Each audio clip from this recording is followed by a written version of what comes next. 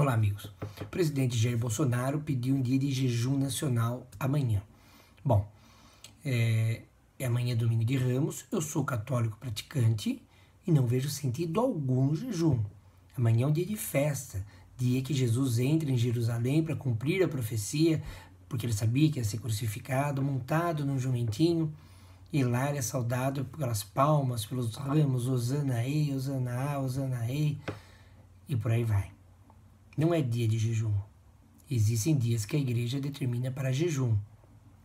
Agora, respeito quem vai seguir o presidente Bolsonaro, não tenho problema algum com isso, não sou esquerda, não sou direita, não sou Lula, anti-Lula.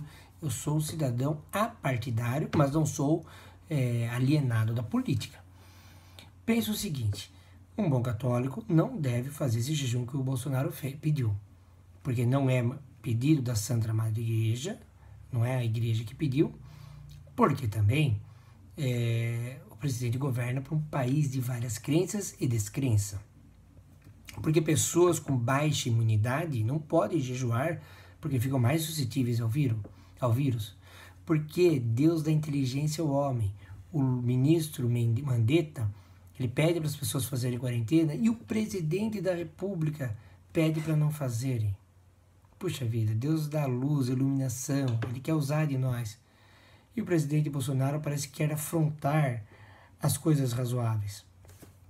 Respeito, fé e política são assuntos espinhosos, mas, para mim, é um dia de ramos, de festa, de alegria amanhã.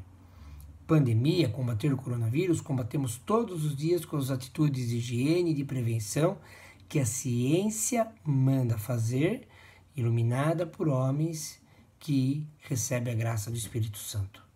Bem simples. Até mais.